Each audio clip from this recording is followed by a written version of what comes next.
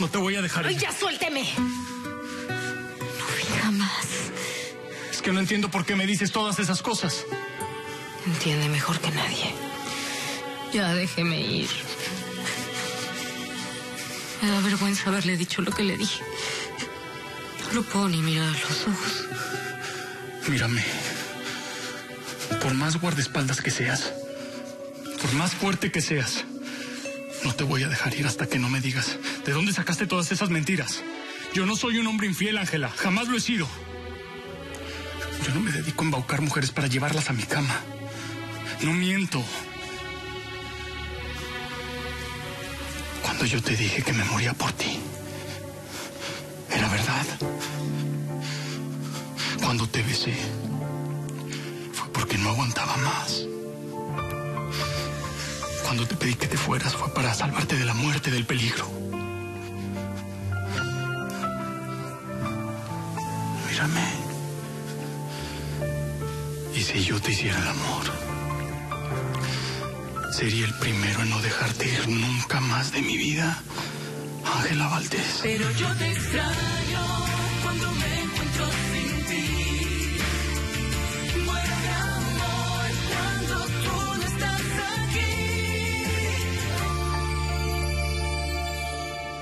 ¿Por qué la dejaste ir?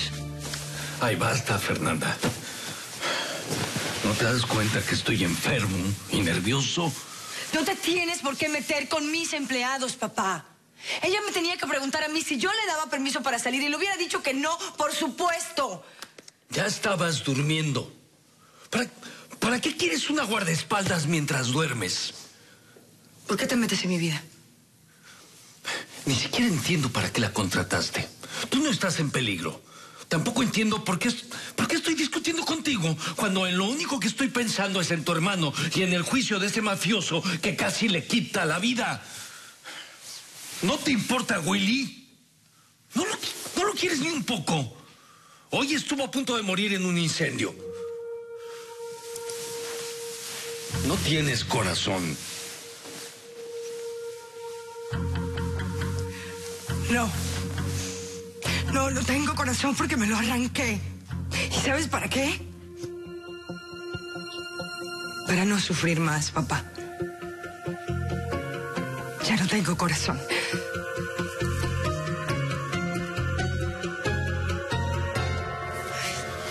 ¿Qué más quiere que le cuente? ¿Los detalles? ¿Para qué si usted los conoce de memoria? Además de mentiroso cínico. ¿Perdón?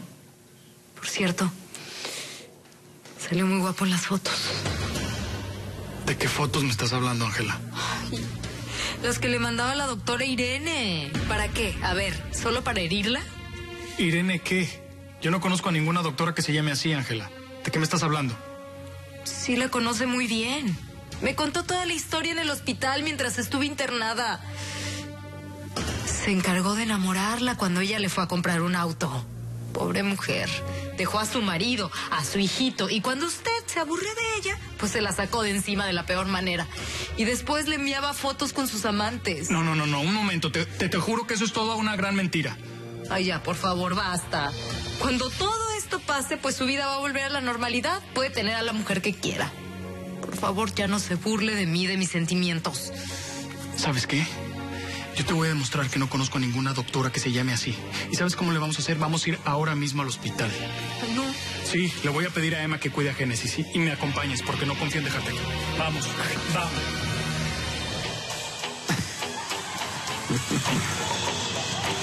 ¿Es en serio que vas a ver televisión? ¿Es en serio? Aquí no hay nada más que hacer, Navarro.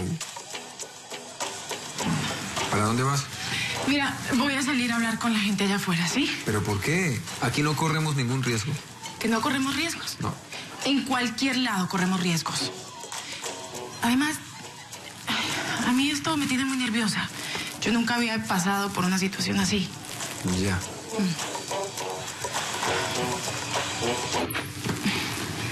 En cambio a mí, Navarro. Estos casos me hacen pensar en otras cosas. A mí no. Ay, me gustó. dije que tenías que tenerla controlada. ¿Por qué no me escuchas? ¿Por qué la dejaste ir, imbécil? Cálmese. A lo mejor está solucionando algo de su hermano, ¿no cree? Está con Juan Marcos, yo lo sé. Suéltame. A ver, ¿por qué la pone tan nerviosa? Usted me está ocultando algo. ¿Hay algo que yo no sepa? Por supuesto que no. Lo que pasa es que como quiero ganarme el cariño de Génesis, no quiero que Ángel interfiera, eso es todo. Así de simple. Pues mejor que sea así. Digo, por la vida de Juan Marcos.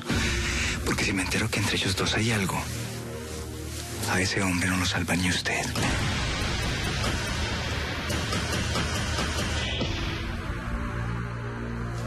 ¿Había necesidad de que me trajera hasta acá? Sí, sí.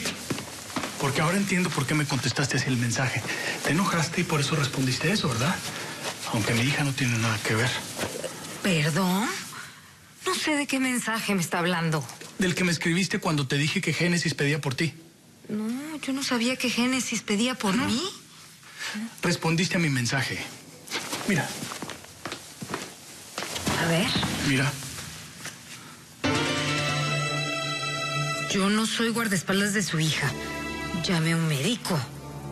Ay, no, no, no, no, no, le juro que yo no escribí eso. Bueno, si miras bien, aquí dice Ángela Valdés. Es tu número, ¿no?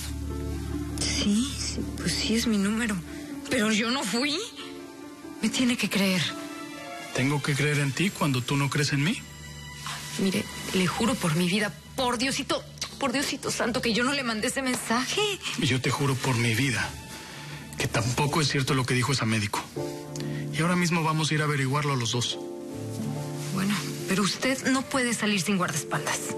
Esta noche, mi guardaespaldas eres tú. Pero yo te extraño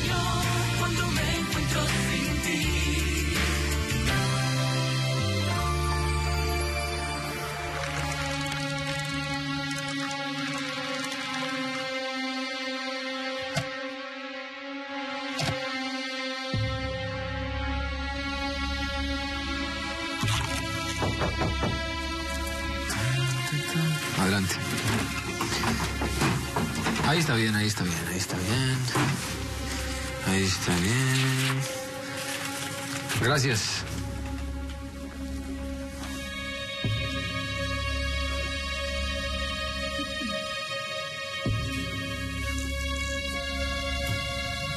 ¿Quieres comer? No, ¿Por qué me haces todo tan difícil, Navarro? No tengo hambre. Atención. ¿Qué es eso? Código 2. Dos es un código de urgencia. Un código de urgencia. Estamos en un hotel. Estamos seguros. Mm, qué rico.